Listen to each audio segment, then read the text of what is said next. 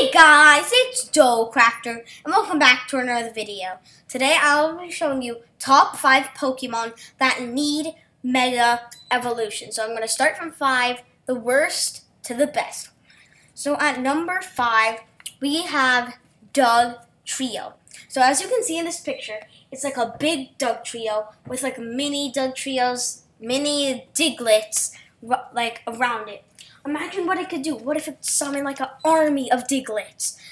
Imagine how cool that would be. And at number four, we have Mega Snorlax. And as you can see in this picture, it has razor claws. It's big and buff. And um, you know how like Snorlax is supposed to be like a huggy, a huggable kind of thing, and like nice and chubby and sleepy. This one isn't. He will use all his fat to smash you. He will scratch you. He will punch you. Yeah.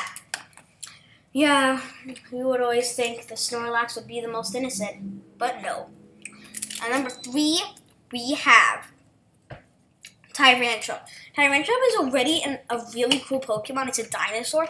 And look at this picture. It has all these spikes around it. it has like, it's giant, and yeah. And imagine how much, how good it would be. Like a thousand attack, a thousand health. Yeah. So that's number um, three. And number two, we have Dragonite. As you can see this picture, is wearing like a green mask and suit. And like a orange, um, just its normal self. But look how cool he is. He has a little bit of spikes. It's like he's a sumo wrestler with those masks. And um, he would be really strong. He would probably shoot out blue blue fire like um, Mega Charizard X would.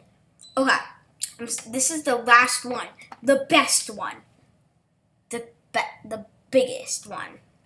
We have the one, the only Groudon. So as you can see in this picture, it's choking two Charizards. It has spikes on his head, and it's literally as big as a mountain.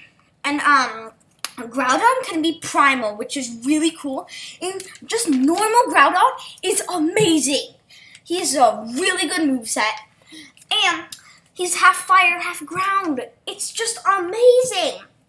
So guys, that has been the end of today's video. So, bye!